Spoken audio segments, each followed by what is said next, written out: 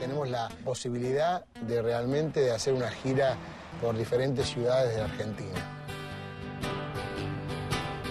¿A ustedes les parece que es posible? Un, dos, tres, ¡vamos! Fondo, Alas, Gira Nacional 2007 y 2008. Ustedes saben que vamos a tener que parar en hoteles, ¿no? De cuatro o cinco estrellas. Por mínimo. Por lo menos.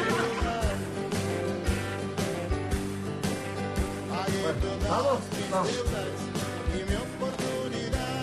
Es todo nuevo para nosotros, porque nosotros estamos experimentando a ver qué va a pasar con el público.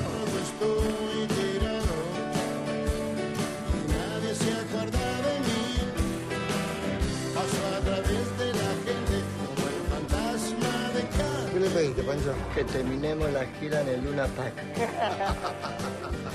Yo sentí la energía del público que me hizo así. El público acá es muy cálido.